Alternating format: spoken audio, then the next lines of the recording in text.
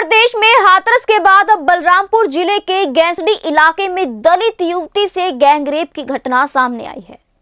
बताया जा रहा है कि 22 साल की छात्रा को पहले किडनैप किया गया। फिर नशे के इंजेक्शन से बेहोश कर दो आरोपियों ने दुष्कर्म किया। लड़की की हालत इतनी बिगड़ गई कि उसकी मौत हो गई। पुलिस ने साहिल और शाहिद नाम के आरोपियों को गिरफ़्तार किया है। इनके खिलाफ गैंगरेप और हत्या का केस दर्ज किया गया है। आपको बता दें कि युवती कॉलेज की फ़ीस जमा कराने के लिए मंगलवार सुबह 10 बजे घर से निकली थी। शाम तक घर नहीं लौटी तो घर वालों ने फ़ोन किया, लेकिन फ़ोन बंद था। शाम करीब सात बजे युवती गंभीर हालत में रिक्शे से घर पहुँची। उसके हाथ पर कैनुला लगा था। बेहोशी की हालत में थी। बोल भी नहीं पा रही थी। परिजन तुरंत डॉक्टर के पास ले गए। फिर डॉक्टर के कहने पर लखनऊ ले जा रहे थे, लेकिन रास्ते में ही युवती की मौत हो गई। लड़के की माँ ने बताया कि बेटी कॉलेज से लौट रही थी। रास्ते में कार में आए तीन से चार लोगों ने उसे अगवा कर लिया। उसे नशे के इंजेक्शन देकर दुष्कर्म किया गया। आरोपियों ने बेटी की कमर और पैर भी तोड़ दिए। इसलिए ना तो वह खड़ी हो पा रही थी और ना ही बोल पा रही थी। बस इतना ही कह पाई कि पेट में बहुत तेज जलन हो रही है। हम मर जाएँगे। पुलिस का कहना है कि वारदात गैसडी गाँव में एक किराना स्टोर के पीछे के कमरे में हुई। पीड़ित की सैंडल उसी कमरे के बाहर मिली है। दुकान मालिक की घटना का मास्टरमाइंड बताया जा रहा है। आरोपियों ने दुष्कर्म और मारपीट के बाद पास के ही डॉक्टर से पीड़ित का इलाज करवाने की कोशिश की थी। डॉक्टर ने बताया कि साहिल नाम के लड़के का शाम पाँच बजे फ़ोन आया था। वह मुझे अपनी दुकान पर ले गया। वहाँ पर उन्होंने कहा कि एक फैमिली मेंबर को देख लीजिए। जब देखा तो कमरे में लड़की के अलावा कोई और नहीं था।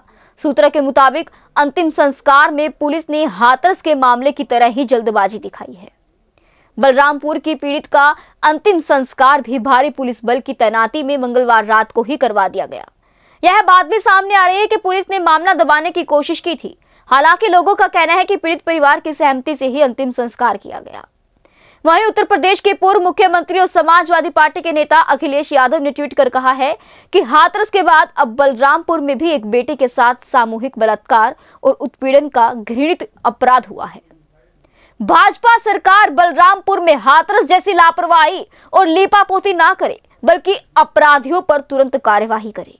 जनपद बलरामपुर के थाना गैसली में एक तहरीर प्राप्त हुई है, जिसमें एक 22 वर्ष की लड़की है, जिसके परिजनों ने ये बताया कि वो लड़की एक प्राइवेट फर्म में काम करती है और कल वो जब फर्म में काम करने गई, उसके बाद काफ़ी देर तक शाम को वापस नहीं आई। तो परिजनों को चिंता हुई, उन्होंने फ़ोन से संपर्क करने की कोशिश की, लेकिन लड़की से संपर्क नहीं हो पाया। लेकिन थोड़ी देर बाद वो लड़की एक रिक्शे पर आई तो उसकी लड़की के हाथ में जो ग्लूकोज चढ़ाने वाला वीगो होता था, वो लगा हुआ था और लड़की की हालत काफ़ी खराब लग रही थी।